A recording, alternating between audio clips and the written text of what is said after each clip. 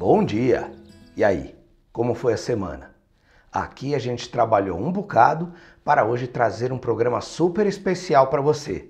Confira nossos assuntos. Os prejuízos causados pela podridão radicular na soja. Tomate produzido em estufa dá um pouco de trabalho, mas o esforço compensa. Orquestra da Viola Caipira o destaque que ela merece. A história da matemática Carla Rodrigues, que construiu sua carreira dentro do agronegócio. Começa agora para todo o Brasil mais um programa Revista Rural, a sua revista eletrônica do agronegócio.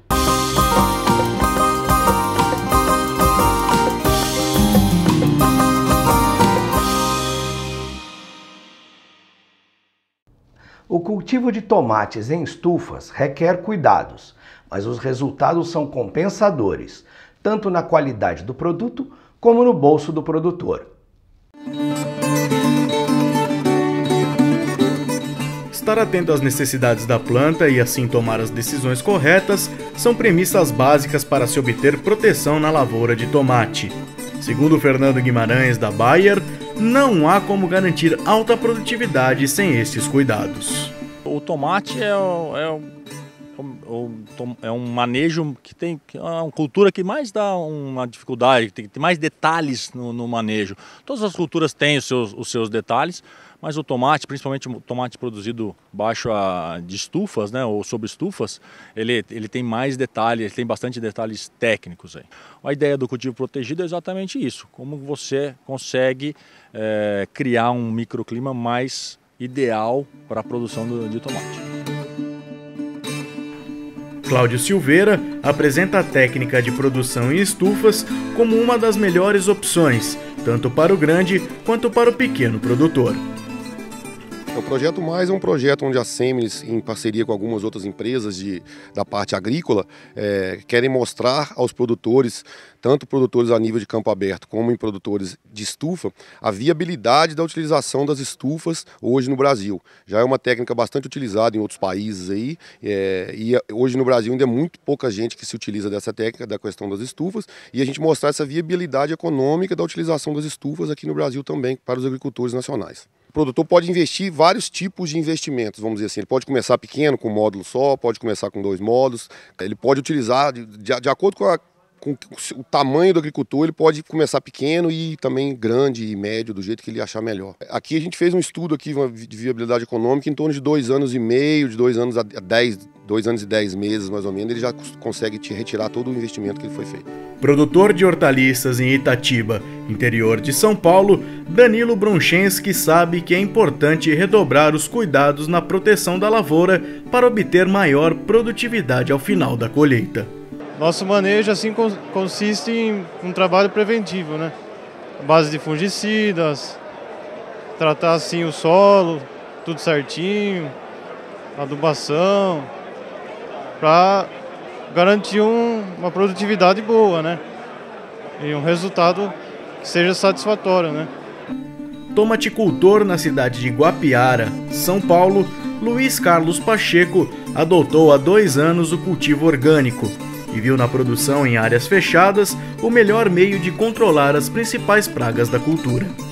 A gente está iniciando agora na área de orgânico, né?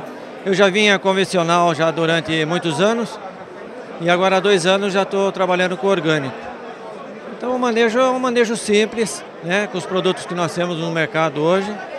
E graças a Deus temos conseguido um ótimo resultado. Outra ferramenta que pode auxiliar o agricultor, além do manejo correto, é a adoção de outras culturas. Uma das dificuldades que existia assim, no passado era principalmente a rotação de culturas. Hoje o produtor já entende melhor isso, tem feito uma rotação maior também, que ajuda. Né? Então o manejo aliado, a aplicação, é, é, claro, né, de produtos também, isso tudo, esse, é, junto com a parte genética, leva essa, essa resistência maior das, das cultivares. E na tua vivência, experiência de campo, de lida com produtores e tudo mais, é, dá para dizer que ele entende os problemas que um mau manejo pode trazer para ele e que traz, é, por consequência, para a plantação? Eu acho que se você pensar em termos grandes produtores hoje, isso está bem, bem mais difundido. Né? Ele consegue ver, quando nós colocamos ensaios, por exemplo, ele consegue ver um, manejo adequado perto de uma planta que não teve um manejo correto, ele consegue ver essa diferença. Os pequenos produtores, isso ainda a gente está caminhando, né? acho que passos, é, pouco a pouco, isso está sendo difundido, mas se eu pensar de modo geral, pelo menos para a cenoura, isso já é bem, bem difundido, sim.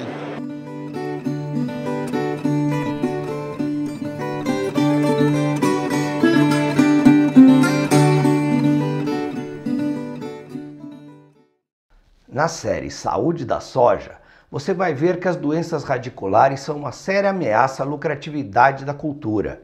Por isso, o produtor deve estar sempre atento às condições hídricas da lavoura.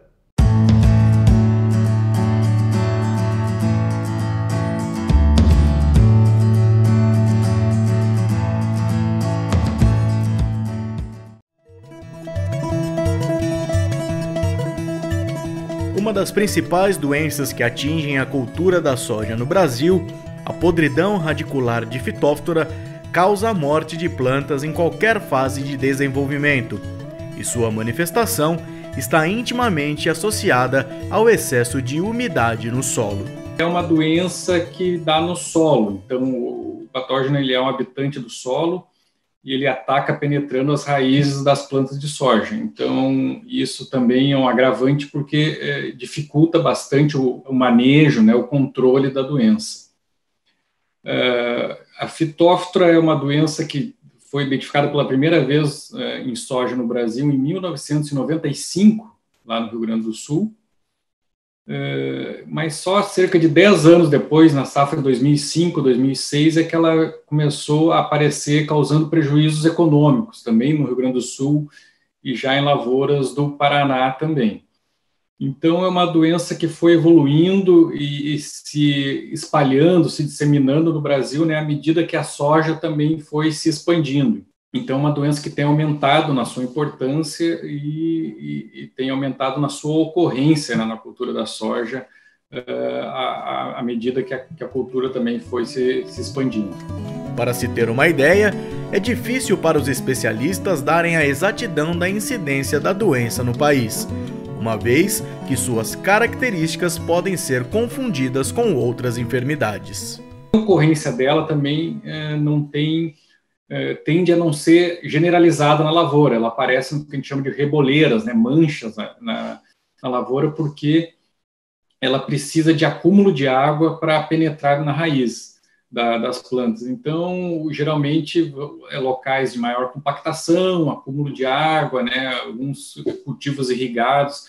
Então, não é homogênea e nem uh, uh, constante. Pode ocorrer num ano, num outro ano, um ano mais seco, que não tem esse acumular, pode não ocorrer na mesma área, então vai ficar bastante difícil de fazer esse levantamento.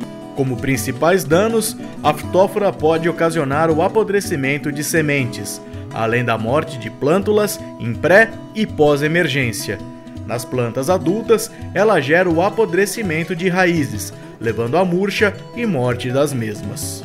Se você semeia e logo tem chuvas mais pesadas e tem uma cultivar suscetível e uh, o acúmulo de água já pode causar maior, uh, apodrecimento de semente e tombamento de plantas, que é quando a, a plântulazinha germina, né, sai para fora, mas daí depois ela já cai e já morre. Então, aí já seria um, o primeiro grande prejuízo que poderia causar, porque poderia levar à necessidade do agricultor ter que replantar, né? Porque o stand da, da, da, lavoura ia ficar muito com muitas falhas, ia ficar muito baixo. Se você tiver materiais com uma uh, moderadamente resistentes ou com uma resistência parcial, muitas vezes a planta não morre. Ela apenas sente um pouco a doença, diminui o porte da planta e também isso pode causar também perdas de produtividade, mas aí com menos intensidade do que em materiais suscetíveis onde as plantas uh, morreriam. Né? Então é isso. É necessidade de ressemeadura, necessidade de, e perda de produtividade no final do ciclo. Principal dúvida dos agricultores: o controle da doença é complicado e requer muita atenção para que no futuro os mesmos danos não sejam causados na produção. Depois que ela começa a ocorrer numa safra, né, não tem nada para fazer ali no momento. Né? Você vai ter que pensar para a próxima safra. Por quê? Porque é uma doença de solo, você não tem um produto para aplicar, você não tem algo que possa uh, travar o desenvolvimento da doença depois que ela começa a correr numa safra. Mas, para a próxima safra, ele já pode pensar em diversas uh, formas de manejo. Uma, uma, das principais é o manejo do correto manejo do solo. Então, provavelmente, se ele teve problema, ele deve estar com algum problema de acúmulo de água nessa área, então talvez fazer uma descompactação, fazer uma rotação de cultura com uma cultura com raízes descompactadoras, né? Tudo, qualquer bom manejo que ajude, né, uma, uma melhor penetração de água, melhor desenvolvimento das raízes da soja, vai ajudar a escapar da doença. O uso de cultivares resistentes é também uma ferramenta que o produtor tem à sua disposição, mesmo que a doença seja traiçoeira. Uma dificuldade em relação a isso é que o, o patógeno tem uma variabilidade genética muito grande. Então, ele pode quebrar a resistência de algumas cultivares. Né? Então, uh, não é uma garantia de 100% de controle da doença plantar materiais resistentes, mas também é, já ajuda né, a prevenir maiores problemas.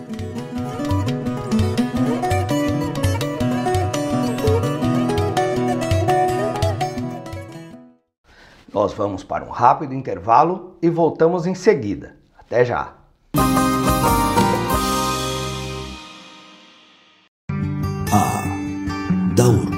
Ser produtor rural. Trabalho duro faça chuva ou faça sol, tirar da terra tudo o que ela tem de melhor, colocando comida no prato de todo brasileiro.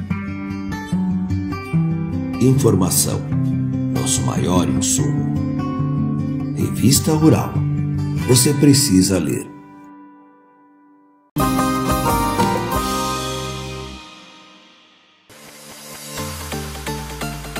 Eu sou a Anne a nova repórter virtual da Revista Rural.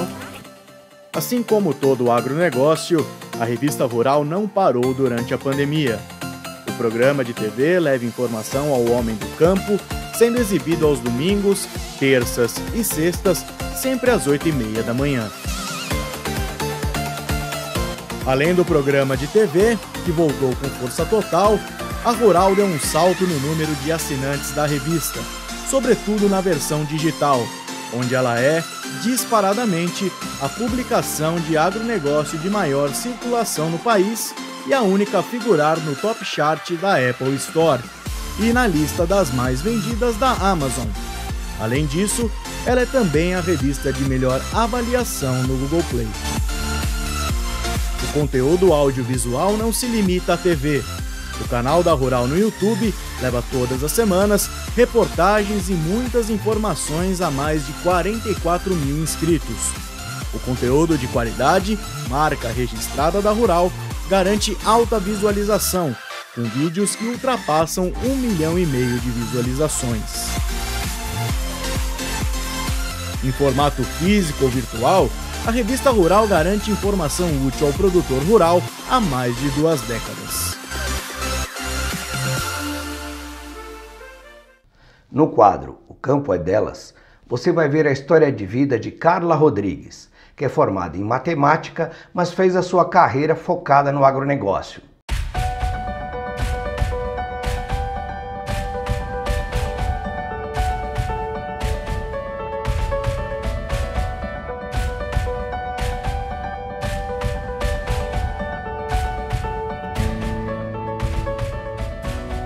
Eu sou Carla Rodrigues, trabalho com aves, na produção de aves no norte do Paraná. E o meu negócio no agro começou há 13 anos atrás. Eu entrei como estagiária na empresa, na época eu estava estudando matemática plena, licenciatura, e comecei a me apaixonar pelo que eu aprendi a fazer no agronegócio, né, na produção de aves.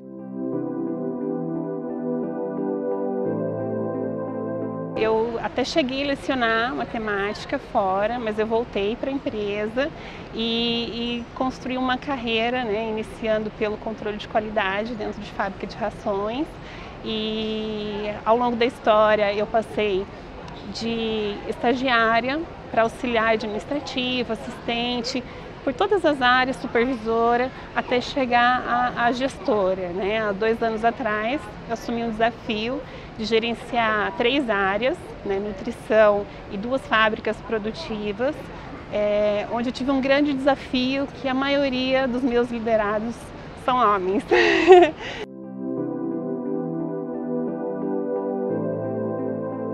Então, apesar de ser mais jovem, né, é, mulher e ainda jovem, eu consegui conquistar o respeito dos meus pares e dos meus é, colaboradores, colaboradores que fazem parte da minha equipe, né, trabalhando sempre com muita dedicação, com muito é, carinho, com muita harmonia em equipe. Né, eu dou muito valor nesse trabalho em equipe, independentemente de sexos. Né.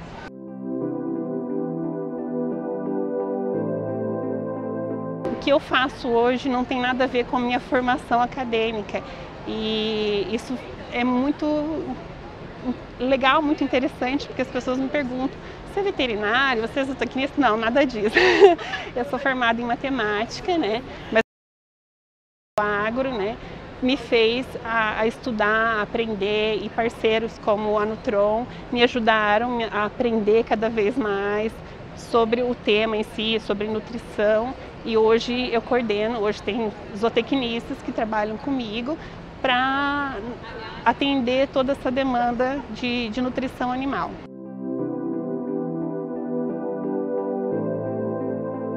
eu senti um preconceito, né, por conta de ser mulher e por conta de idade. Uh, a gente é desafiado a conquistar o nosso espaço. Então a gente tem que exercer um esforço muito maior para mostrar que, muito além do sexo, a gente tem competência, a gente tem capacidade para fazer acontecer. Né? Então, isso eu, eu tive que passar por um momento de coach né, para me ajudar a, a, entender como me impor, né, como deixar esse ficar me vitimizando com relação a isso, por ser mulher, por ser mais nova de idade eu parar de ficar me vitimizando para eu conseguir me impor e conquistar respeito dos meus pares, principalmente os pares homens.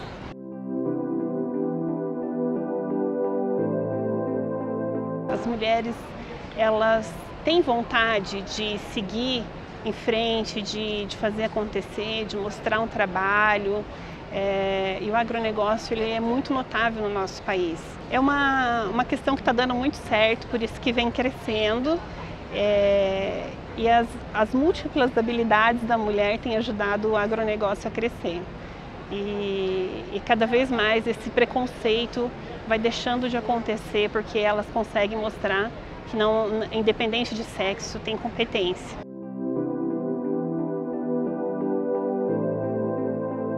A gente procura trabalhar independente de, de sexo, né? tratar todos iguais por competência. O que interessa para nós é a competência, a dedicação, é o engajamento. É, então todas a gente não, não, não faz essa distinção entre homens e mulheres. É, o que a gente percebe é que as mulheres elas são mais, elas precisam superar né, com elas mesmas essa questão do, do machismo né, essa questão mesmo de provar todos os dias que elas podem, que elas são capazes. Então está muito mais nelas do que nos homens, essa questão da, da, dela ser mulher e ter que provar que ela é competente.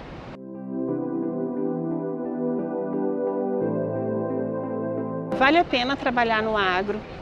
É, eu acho que a gente se apaixona. Eu sou apaixonada pelo que eu faço o agro ele vem crescendo e é uma oportunidade das mulheres mostrarem seu potencial. Então, as mulheres que têm interesse em participar do agro, ingressar no agro, tem muita oportunidade. Vem que dá certo.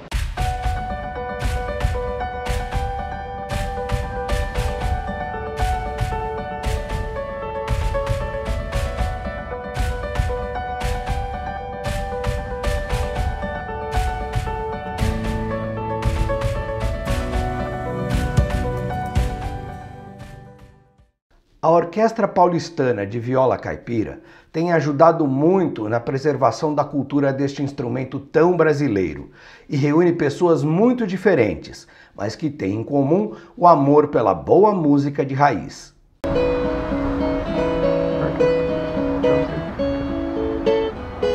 Criada em 1997, a Orquestra Paulistana de Viola Caipira trabalha para manter a tradição e cultura da música caipira nascida nos campos do Brasil. Eu dava aula em, várias, em vários locais, escolas particulares, é, Escola de Comunicação e Arte Senac, Universidade Livre de Música. Toda boa escola de música ela tem um negócio chamado aula é, prática de conjunto. Então e, e, o violeiro, a princípio, ele não queria fazer uma prática de conjunto com o saxofone, com, a guitarra elétrica, não, ele queria tocar as modas de viola, as músicas de viola, os cateretês, cururu, querumana. Então nós começamos a pegar esses alunos de lugares diferentes e juntar num único lugar e, e ensaiar. Então uma vez por semana a gente fazia essa prática de conjunto fora dessas unidades aí que eu dava aula.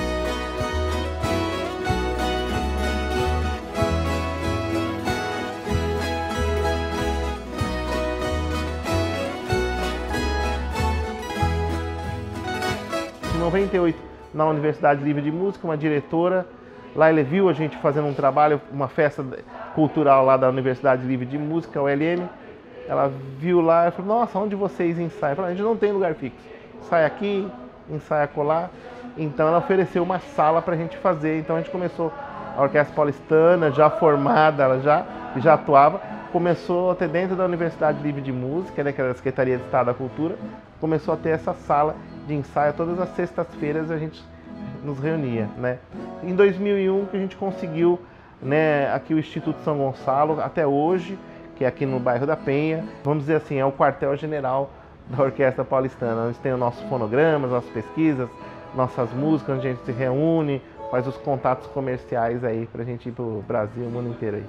Como um dos diferenciais da orquestra, o maestro cria arranjos específicos onde cada grupo de viola desempenha o seu papel. Aqui nós temos seis naipes distintos, fora Spala. Então o Lucas é o, é o Spala da orquestra, é o primeiro violeiro, é o, é o mais experiente, é o que toca melhor. E nós temos aí depois o agrupamento eh, eh, viola, uh, viola número 1, um, viola número 2, viola número 3, o número 4, a violona, que é a viola mais grave, e a viola base. Então são esses os naipes, seis naipes instrumentais mais um naipe de cantoria, que são os cantadores que fazem a parte nas peças que são cantadas, pertinentes aí, eles executam o canto.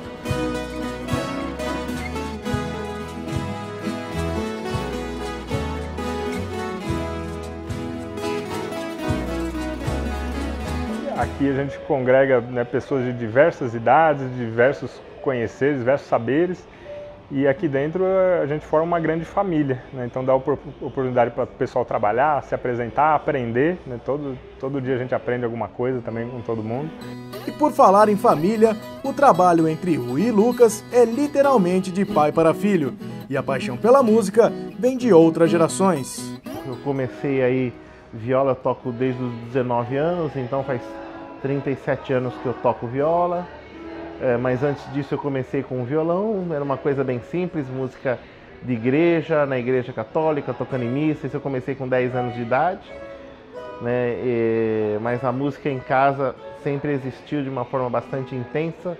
Tinha um pai era trompetista, é, na adolescência dele tocava é, numa banda de jazz tradicional, os irmãos dele também, os tios, então tinha flautista, irmão saxofonista, tudo nessa banda aí.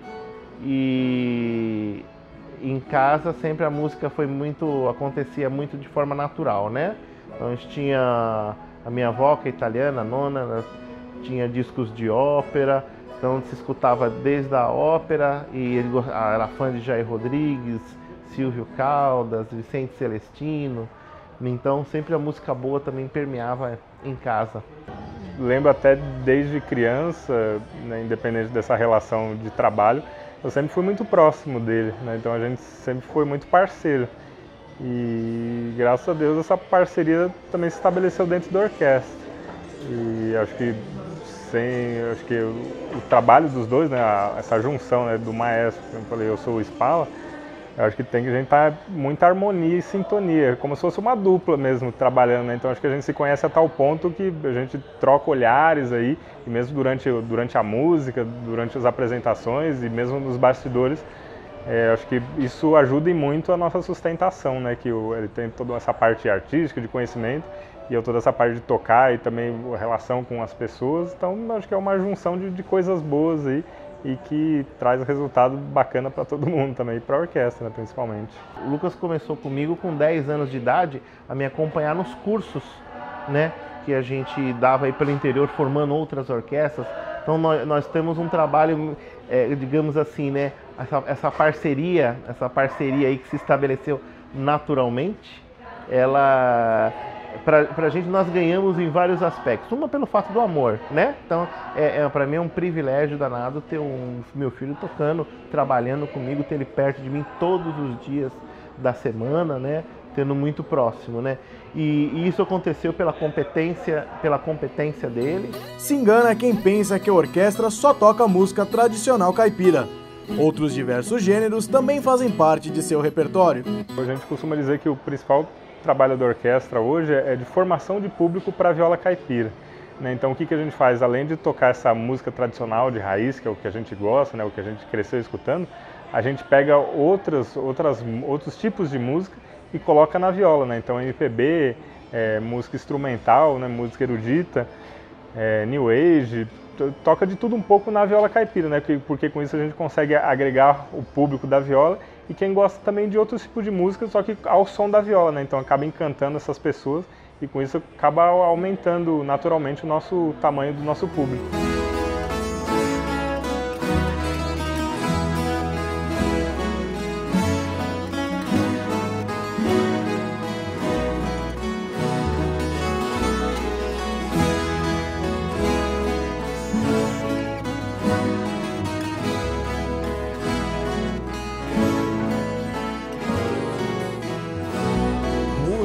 É como comida. Todo mundo quer comer bem. Todo mundo quer sentar numa mesa né, e provar coisas deliciosas aí. E na verdade isso nem sempre a gente pode, nem sempre a gente tem, nem sempre a gente tem a oportunidade. E então a gente costuma pegar músicas boas de qualquer gênero, desde a música caipira e desde a música caipira, da música erudita, do, do, do world music, né, qualquer tipo de música aí, adaptar ela para viola, mostrar para a viola para para exercer a parte de comunicação, para a gente tem que fazer a quando a gente consegue falar a mesma linguagem das pessoas, aí as pessoas começam a prestar um pouco atenção. Na orquestra, a idade não interfere. A mistura de experiência e juventude entre os violeiros dá o tom da união que predomina no grupo. Quando eu resolvi tocar viola, eu procurei algum profissional qualificado para poder me acompanhar, né? Queria ter um professor. Na época eu estava morando no Paraná, que eu fazia faculdade, e na cidade que eu morava não tinha um, uma pessoa para poder fazer esse trabalho. E aí quando eu voltei para cá para São Paulo, procurei um professor aqui em São Paulo e encontrei pela através da internet o pessoal da Orquestra Paulistana. E aí comecei a fazer aula com o Lucas e está sendo tá sendo muito importante para mim, porque ter aula com um dos melhores violeiros do Brasil e estar tá tocando num dos grupos mais conceituados do ramo da música raiz é uma oportunidade para poucos.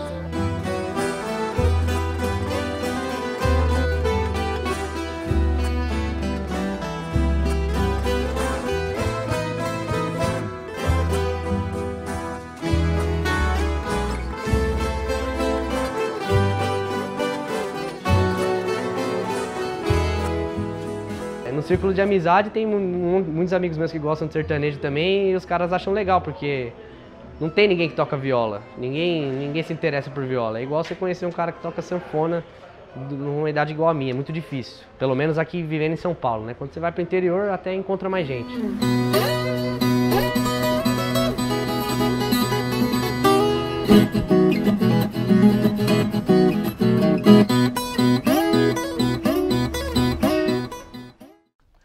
Chegamos ao fim de mais um programa. E aí, gostaram? Eu espero que sim. Um forte abraço e até semana que vem. Tchau!